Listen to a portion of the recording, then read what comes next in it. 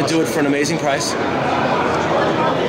The target, the target price on it is going to be 60 bucks, Sweet. but it's going to be, um, you know, obviously lifetime warranty with everything we do.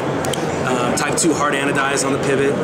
Um, the liners on, on such a sh- on such a small knife, the liners. That's a, lot, a lot of times on larger stuff, we try to sil- we flat try to skeletonize the inside of the liners to lighten it up a little bit. Yeah. Don't have to do it at all on this one because it's the, the email announcing it's a, announcing that we were going to go ahead and go forward with the knife for sure.